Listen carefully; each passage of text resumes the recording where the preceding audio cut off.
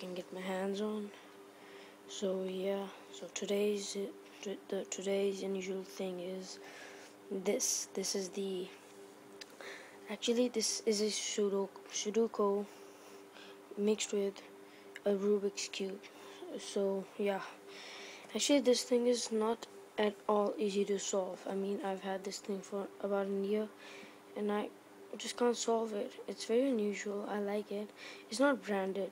I think you can search for this on the web and order it online or just go to a funny kids toy store and you might get it there since I got mine from there since it's not branded and this thing is it works like this see you have to oh, all those who know how to play Sudoku can easily solve this cube no not everybody can because these letters you see no same I mean letters can't be easily I mean letters can't easily come together. Sorry guys for that.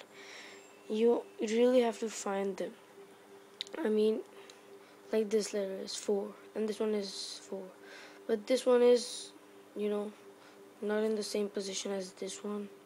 See this one is facing upwards and this one is facing towards the left. So that's a real problem. Like this this one this line is uh, this line is facing that word and this one is this word I know these are nine nines because sorry sorry sorry those were six and the, this is a nine since this has a line under it.